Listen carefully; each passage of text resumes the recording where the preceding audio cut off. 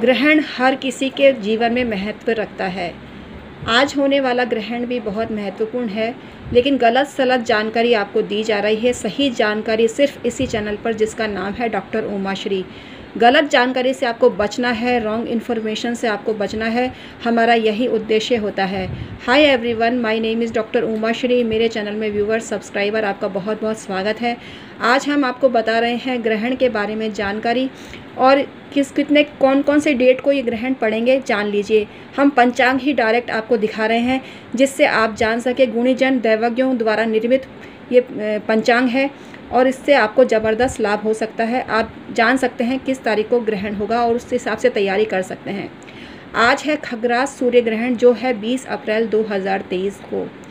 इसके बाद कंकण सूर्य ग्रहण होगा 14-15 अक्टूबर 2023 को।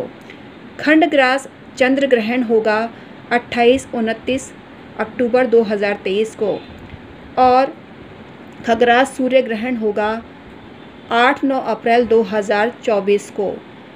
माघ उपच्छाई चंद्र ग्रहण होगा पाँच या छः, पाँच और ऑब्लिक छः मई 2023 को और माध्य उपच्छाई चंद्र ग्रहण होगा 25 मार्च 2024 को। ये संपूर्ण जानकारी हमने आज के वीडियो में दी आपको। अब जानिए, खगरास चंद सूर्य ग्रहण जो आज बीस अप्रैल 2023 अमावस्या को हो रहा है इसका क्या प्रभाव पड़ेगा? आप डायरेक्टली पंचांग में देख लीजिए, ये खगरास सूर्य ग्रहण है जो 20 अप्रैल 2023 को पड़ रहा है। इसमें स्पष्ट लिखा है, ये भारत से बाहर होगा।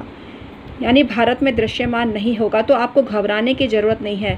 सूतक नाम की कोई चीज़ ही इस दिन नहीं लगेगी।